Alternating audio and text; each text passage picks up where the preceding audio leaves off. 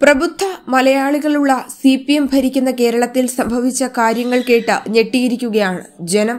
രാജ്യവിരുദ്ധ സംഘടനയായി കണക്കാക്കി പോപ്പുലർ ഫ്രണ്ടിനെ കേന്ദ്ര സർക്കാർ നിരോധിച്ചപ്പോഴാണ് കേരളത്തിൽ നടന്നുവന്ന പ്രവർത്തനങ്ങൾ മറനീക്കി പുറത്തുവന്നത് സംഭവം ഇതാണ്.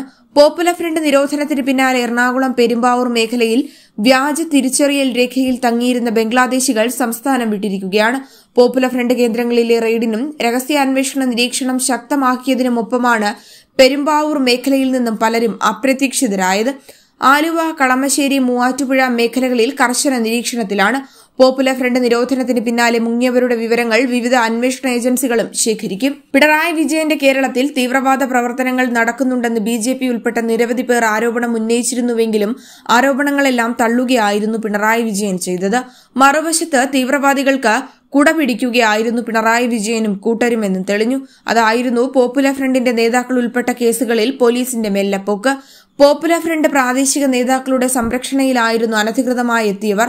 കേരളത്തിൽ കഴിഞ്ഞിരുന്നതെന്ന് വ്യക്തമാകുമ്പോൾ പിണറായി സർക്കാരിന്റെ തീവ്രവാദികൾക്കുള്ള പിന്തുണയും പുറത്തുവരികയാണ്.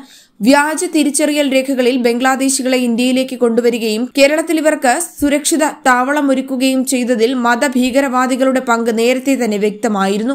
രണ്ടായിരത്തി ഇരുപത് സെപ്റ്റംബറിൽ എൻ ഐ എ പെരുമ്പാവൂരിൽ നടത്തിയ റെയ്ഡിൽ മൂന്ന് അൽഖ്വൈദ ഭീകരർ പിടിയിലായിരുന്നു. രാജ്യത്താകെ നടന്ന റെയ്ഡിൽ ഒൻപത് പേർ പിടിയിലായതിൽ മൂന്ന് പേർ പെരുമ്പാവൂരിൽ നിന്നായിരുന്നു. കഴിഞ്ഞ പത്ത് വർഷത്തോളമായി പെരുമ്പാവൂർ കേന്ദ്രീകരിച്ച് നടന്ന ഭീകരവാദ പ്രവർത്തനങ്ങൾക്കെല്ലാം വിദേശ ഫണ്ടുകളും ലഭിച്ചിരുന്നു.